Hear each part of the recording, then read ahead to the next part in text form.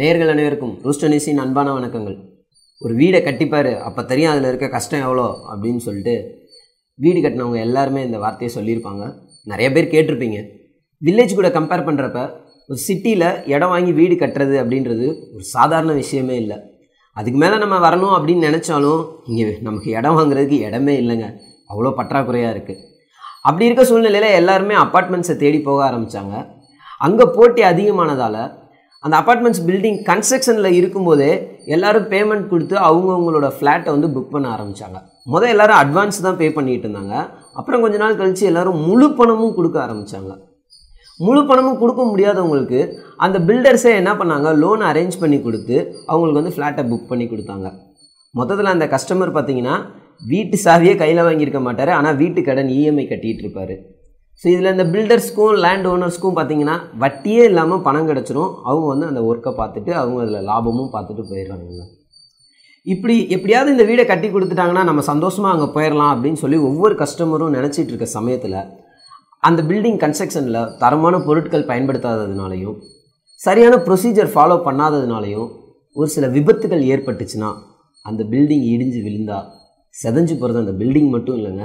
அந்த பில்டிங்கை நம்பி தன்னோட பணம் நேரம் உழைப்பு எல்லாத்தையும் சேர்த்து அவங்களோட கனவும் சேர்ந்து செதஞ்சு போயிடுதுங்க இந்த மாதிரி நம்ம இந்தியாவோட உத்தரப்பிரதேச மாநிலத்தில் கிரேட்டர் நொய்டா அப்படின்ற இடத்துல போன செவ்வாய்க்கிழமை கடந்த ஜூலை பதினேழு நைட்டு ஒரு ஒம்பதரை மணி அளவில் ஒரு ஆறு மாடி கட்டடம் கன்ஸ்ட்ரக்ஷனில் இருந்த கட்டடம் வந்து இடிஞ்சு பக்கத்தில் இருந்த பில்டிங் மேலே விழுந்து அந்த தாக்கத்தில் அந்த பில்டிங்கும் சேர்ந்து இடிஞ்சு விழுந்துருச்சுங்க.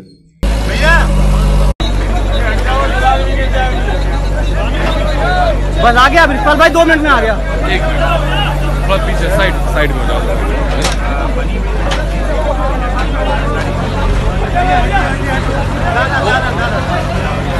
लाउड हेलर का हो गया लाउड हेलर இந்த சம்பவத்தில் chief fire officer Arunkumar Singh வந்து அந்த கன்ஸ்ட்ரக்ஷன் நடந்த பில்டிங்கில் வந்து ஒரு பன்னெண்டு லேபர்ஸ் கிட்ட இருந்ததாகவும் அவங்க எல்லாருமே கண்டிப்பாக அந்த இடிபாடில் மாட்டியிருப்பாங்க அப்படின்னு சொல்லி தகவல் சொல்லியிருக்காரு அந்த பகுதி மக்கள் என்ன சொல்கிறாங்கன்னா அந்த பக்கத்தில் இருந்த பில்டிங்கில் கிட்டத்தட்ட ஒரு பன்னெண்டு குடும்பங்கள் வசித்ததாகவும் நாற்பது பேர் வரைக்கும் இந்த இடிபாடில் சிக்கியிருக்கலாம் அப்படின்னு சொல்கிறாங்க அந்த பில்டிங்க்கு இனிமேல் குடிவர இருந்த மக்கள் அந்த பகுதி மக்கள் அந்த பில்டிங்கில் குடியிருந்தவங்களோட ரிலேட்டிவ்ஸ் லோக்கல் பொலிட்டீசியன்ஸ் மீடியான்னு அந்த இடமே ரொம்ப பரபரப்பாயிடுச்சு நம்ம தேசிய பேரிடர் மீட்பு குழு காவல்துறை மற்றும் தீயணைப்புத்துறை அதிகாரிகளோட சேர்ந்து மீட்பு பணியில் ஈடுபட்டு வராங்க.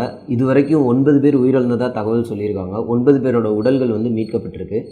போலீஸ் தரப்பில் எஃப்ஐஆர் ஃபைல் பண்ணியிருக்காங்க. அதோட அடிப்படையில் இந்த கன்ஸ்ட்ரக்ஷனில் வந்து தரமான பொருட்கள் வந்து பயன்படுத்தலை. அதனால தான் இந்த கொலாப்ஸ்க்கு காரணம் அப்படின்னு சொல்கிறாங்க அந்த எஃப்ஐஆரில் இருபத்தி நாலு பேரோட பேரை வந்து சேர்த்துருக்காங்க. அந்த இருபத்தி நாலு பேரில் நாலு பேர் லேண்ட் ஓனர் அந்த பில்டர் அப்புறம் புரோக்கர்னு ஒரு நாலு பேரை வந்து அரெஸ்ட் பண்ணியிருக்காங்க.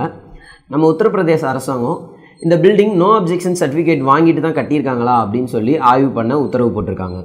இதே மாதிரி நம்ம சென்னையில் கடந்த ரெண்டாயிரத்தி பதினாலாவது வருஷம் மௌலிவாக்கம் ஏரியாவில் பதினோரு மாடி பில்டிங் இடிஞ்சு விழுந்துருச்சு. இதில் அறுபத்தோரு பேர் உயிரிழந்தாங்க இருபத்தேழு பேர் படுகாயமடைஞ்சாங்க அது சம்மந்தமாக ஒரு ஐ- ஐநூற்றி இருபத்தி மூணு பக்கங்கள் கொண்ட அறிக்கையை கூட சிஎம் கிட்ட ஒப்படைச்சாங்க. ஆனால் இறந்தவங்களோட உயிர் நமக்கு திரும்ப கிடைக்க இல்லை இந்த மாதிரி விபத்துக்குள்ளாகிற பில்டிங்ஸில் இன்வெஸ்ட் பண்ண மிடில் கிளாஸ் பீப்புள்ஸ் லோன் வாங்கி கட்டுற மிடில் கிளாஸ் பீப்புள்ஸ் அந்த பில்டிங் இடிஞ்சு விழுகிறதுனால பக்கத்தில் இருந்த குடியிருப்பு மேலே விழுந்து பாதிக்கப்பட்ட அந்த குடியிருப்பில் இருக்கிறவங்க இவங்களுக்கெல்லாம் சரியான ஒரு ஹெல்ப் கிடைச்சதா அப்படின்றது கேள்விக்குறியாகவே இருக்குது இனிமேலும் கிடைக்குமா அப்படின்றதும் மிகப்பெரிய கேள்விக்குறியாகவே தாங்க இருக்குது இந்த விபத்துகளில் கைது செய்யப்படுற லேண்ட் ஓனர்ஸு பில்டர்ஸு இவங்க எல்லாரும் கொஞ்ச நாள் கழித்து வெளியே வந்து அவங்கவுங்க அவங்க வேலையை பார்க்க போயிடுறாங்க. இந்த மாதிரி ஏதாவது விபத்து நடந்த பிறகு அது சம்மந்தமாக நடவடிக்கை எடுக்கிறது நமக்கு ரொம்பவே பழக்கப்பட்ட விஷயங்க. உதாரணத்துக்கு ஒரு ஸ்கூல் பஸ் ஓட்ட வழியாக ஒரு குழந்தை விழுந்து இறந்த பிறகு எல்லா ஸ்கூல் பஸ்லேயும் ஓட்ட இருக்கா இல்லையான்னு செக் பண்ணது பிரேக் இன்ஸ்பெக்டர் வச்சு செக் பண்ணது இந்த கலர் தான் யூஸ் பண்ணணும்னு செக் பண்ணது இதெல்லாம் அந்த ஒரு சம்பவத்துக்கு அப்புறம் தான் நடந்தது. அதுக்கு முன்னாடியே அந்த அதிகாரிகள்லாம் அதை கரெக்டாக ஃபாலோ பண்ணியிருந்தாங்கன்னா கண்டிப்பாக அந்த குழந்தையோட உயிர் வந்து காப்பாற்றப்பட்டிருக்கும் அது மட்டும் இல்லை இப்போ சமீபத்தில் நீங்கள் கோவை இப்போ போனீங்கன்னா கோயம்புத்தூரில் உக்கடம் பகுதியில் ஒரு பாலம் வேலை நடந்துகிட்ருக்குங்க அதுக்காக வந்து பஸ்ஸெல்லாம் ஒரு டேக் டைவர்ஷன் போர்டு வச்சு மாற்றுப்பாதையில் வந்து அனுப்பியிருக்காங்க. அந்த மாற்றுப்பாதையில் ஓகே வேலை நடக்குது போகலாம் அப்படின்னு சொல்லிட்டு போன போது பார்த்தீங்கன்னா இப்போ தாங்க அந்த டைவர்ஷன் பாதையில் வந்து ரோடு போட்டுட்ருக்காங்க அந்த ரோடு போடுறதுக்காக லாரி ஜேசிபி இதெல்லாம் வேலை பார்த்து பயங்கரமாக டிராஃபிக் ஜாம் ஆகுது. இதுக்கெலாம் என்ன காரணம்? அந்த அதிகாரிகளோட கவனக்குறைவும் சரியான திட்டமிடாமையும் தாங்க காரணம். அவங்க சரியாக கவனித்து சரியாக திட்டமிட்டு இதெல்லாம் ஃபாலோ பண்ணாங்கன்னா இந்த மாதிரி பொதுமக்களுக்கு ஏற்படுற இடையூறுகளை வந்து கண்டிப்பாக தவிர்க்க முடியும். ஒரு சில அதிகாரிகள் லஞ்சம் வாங்கிட்டு அனுமதி கொடுக்கறதுனால பாதிக்கப்படுறது என்னவோ பொதுமக்கள் மட்டும்தாங்க. எனவே இனிமேலாவது அதிகாரிங்க பொதுமக்களை மனசில் வச்சு செயலாற்றுங்கள்னு கேட்டுட்டு வேறொரு வீடியோவில் உங்களை சந்திக்கும் வரை உங்களிடமிருந்து விடைபெறுவது ரூஸ்டர் நியூஸ் டீம் இந்த வீடியோ உங்களுக்கு பிடிச்சிருந்தா லைக் பண்ணுங்கள் ஷேர் பண்ணுங்கள் நம்ம ரூஸ்டர் நியூஸ் சேனலை சப்ஸ்கிரைப் பண்ணுங்கள் மறக்காமல் பெல் சிம்பிளை ப்ரெஸ் பண்ணுங்கள் நன்றி வணக்கம்.